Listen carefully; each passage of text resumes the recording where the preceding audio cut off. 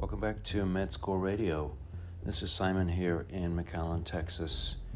And today we're going to be looking at Zanki.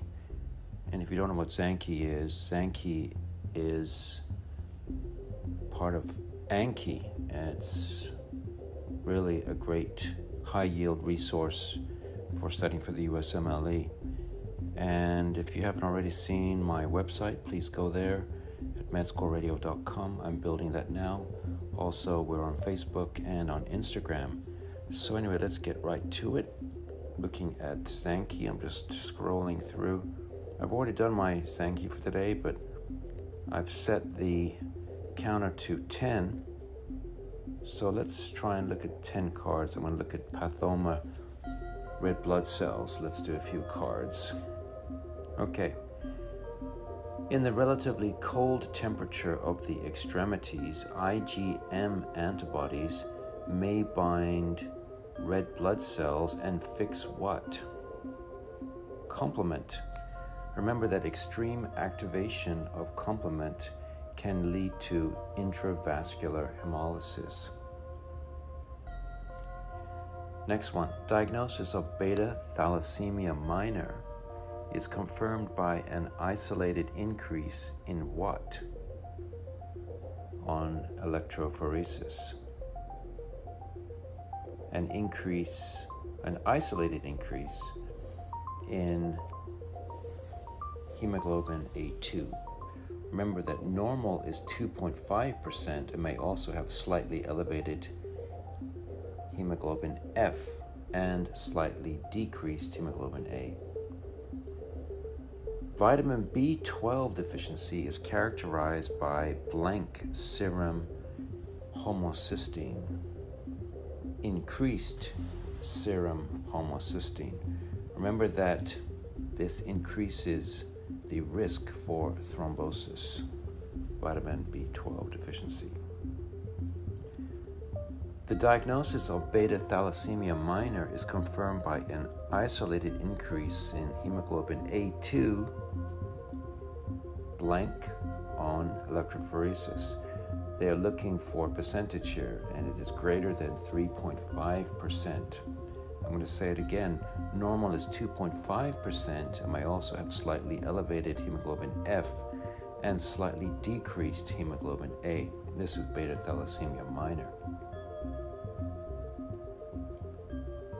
Okay, let's go to the next one.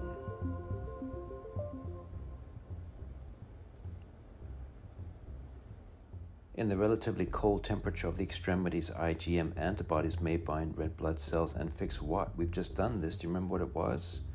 Complement. Remember again, extreme activation of complement can lead to intravascular hemolysis. And remember that vitamin B deficiency is characterized by increased serum homocysteine. Okay, you can see we're going through these. So that was a deck um, completed. Uh, let me go back and do another one. Looking at the decks now, let's look at uh, hmm, ophthalmology.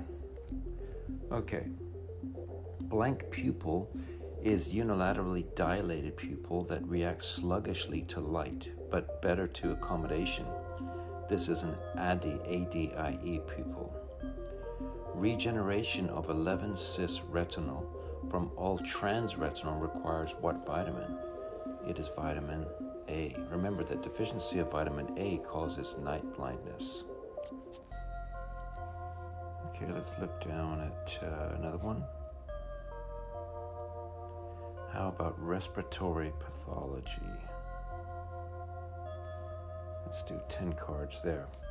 Okay, small cell carcinoma, also called oat cell carcinoma, is commonly associated with amplification of the blank oncogene, MYC oncogene.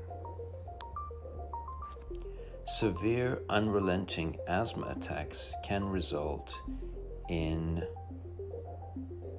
blank and death, in status asthmaticus and death.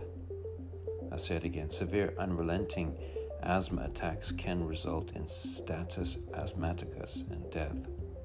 Next, consolidation, lobar pneumonia, pulmonary edema, presents with what type of fremitus?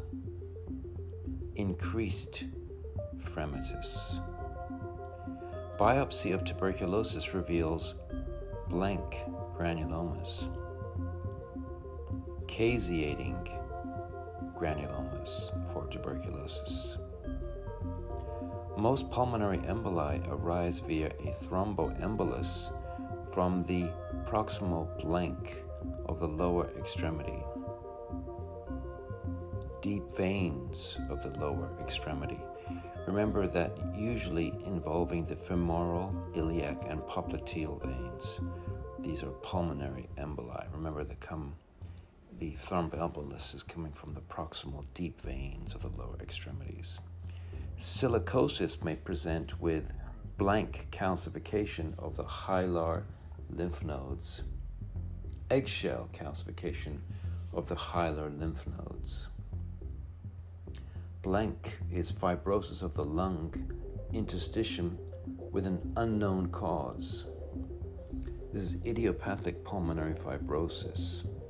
Remember that secondary causes interstitial fibrosis, such as drugs, for example, bleomycin and amiodarone, and radiation therapy must be excluded. Most pulmonary emboli arise via a thromboembolus from the proximal deep veins of the lower extremity. We just said that. Okay, you just saw this again. Silicosis may present with eggshell calcification of the blank lymph nodes, the hilar lymph nodes. Okay, let's talk again about small cell carcinoma, oat cell carcinoma. It's commonly associated with amplification of what? Oncogene, the MYC oncogene. And biopsy of tuberculosis reveals what type of granulomas? Caseating granulomas. Okay, severe asthma attacks can result in status asthmaticus and death.